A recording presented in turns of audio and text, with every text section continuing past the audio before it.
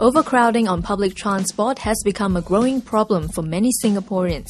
During a post National Day rally dialogue, Senior Minister Goh Chok Tong said that as a young civil servant, he used to wait an hour before he could catch a bus home.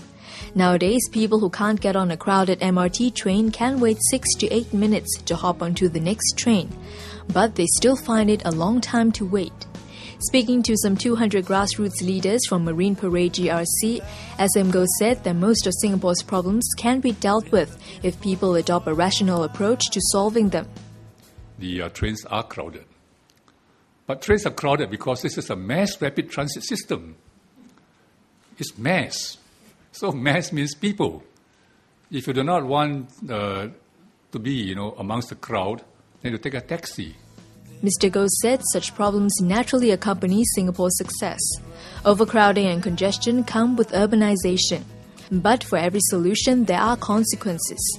But that doesn't mean we can't solve the problems of uh, overcrowdedness now.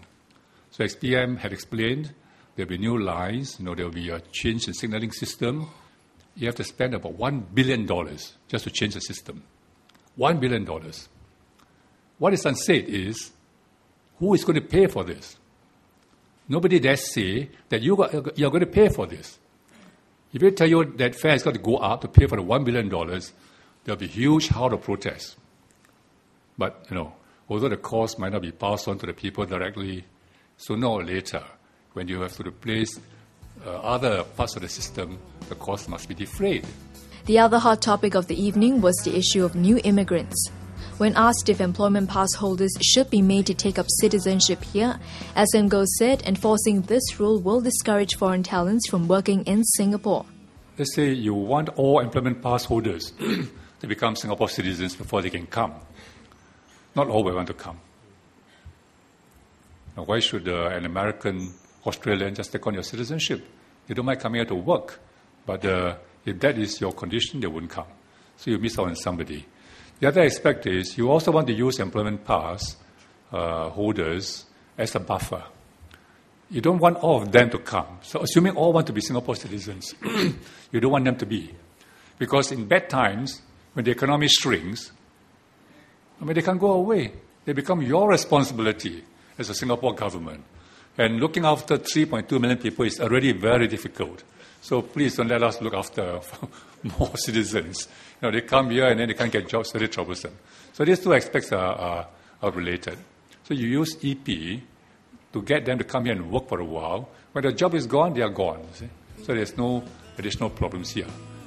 The large inflow of new immigrants have also put pressures on the housing market in Singapore. With rising property prices, should the government have stepped in earlier to solve the problem? You've got to watch. Is there a problem of a bubble?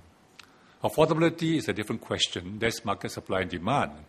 But if a speculative uh, bubble is building up and uh, banks begin to lend more and more money to people to buy homes, when the bubble bursts on its own, as, they must burst, because how big can a balloon be? So when they burst, the consequence is not just on the house buyers, the consequence is also on the banks, which lend money to uh, these people. And if the banks begin to wobble because mortgages cannot be repaid, that has a systemic uh, problem for the whole economy because banks are critical to our economy. So you've got to watch this.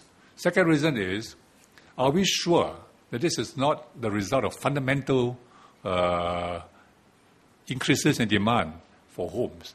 And there's an underlying support for the high price.